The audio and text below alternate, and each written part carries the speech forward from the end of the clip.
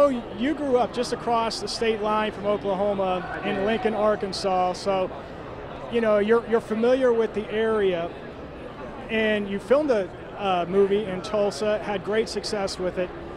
What was important about filming this movie here? Um, there's just nowhere on earth like this terrain, this country, this part of the country, this place. Um, Oklahoma is very unique. Um, when I signed on to this, the script said Oklahoma. That's what excited me.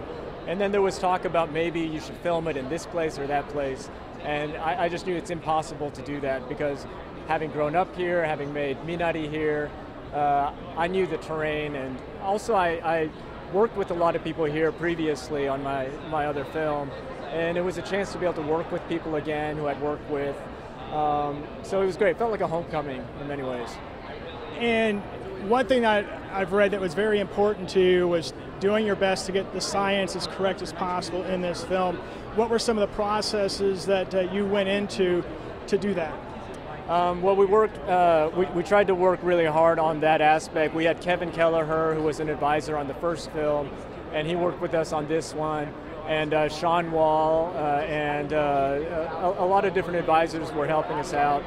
Um, we even went to the National Weather Center and did a class uh, in Norman, and that was really incredible, not just for me, but all the actors. Um, and we just wanted to show that weather itself, uh, science itself, can be an adventure. It's, it's, actually a fun thing. And, you know, one of the other things that uh, you mentioned, it, you know, sh shooting in Oklahoma, you know, it's almost like a full circle moment. Like this is a, a huge blockbuster film that you've uh, directed.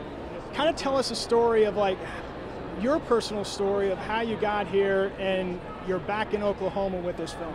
Well, it's, it's really crazy. I felt like um, I grew up on a farm in Arkansas, and in many ways, I felt like I needed to leave from that place in order to like get a get a career going, and you know, I, I need to go to New York and all of those things, um, or to get into entertainment, I need to be in LA. When, when I was able to take, to make Minari, that was a chance for me to come back home, and I got to make that in Oklahoma. Um, now to have another chance to keep on working and to do it in a place where I thought I needed to leave, it's just been a chance to embrace who I am, where I'm from, um, and to show a lot of appreciation for this place. And real quick, uh, with the effects and everything, what do you think you hope people uh, get out of this film? You know, obviously the first one, you know, technology has advanced quite a bit in 28 years. Uh, what do you hope people see? What do you hope they get excited about? Um, well, number one, I hope it's just a fun theatrical event that people can go and have a good time with their families. Like it's just, uh, it's meant to be a film that's going to be a ride for people. Um, but I also hope, and I, I, feel like people in Oklahoma understand this, uh, that it fills people with a lot of reverence and uh, respect for nature, and um, also gives people a lot of fun in that. So, th so those are really my hopes with this.